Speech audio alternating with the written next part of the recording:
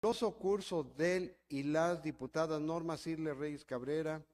Lisette Minto García, Laura Ivonne Zapata Martínez y Adolfo Alatriste Cantú, integrantes de la sexagésima primera legislatura del Honorable Congreso del Estado Libre y Soberano de Puebla,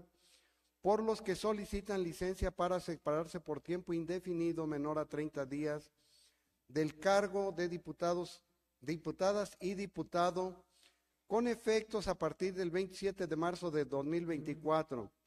Se toma conocimiento y se informa que se procedió en términos de ley. Asimismo, se ordena su publicación en el periodo, periódico oficial del Estado.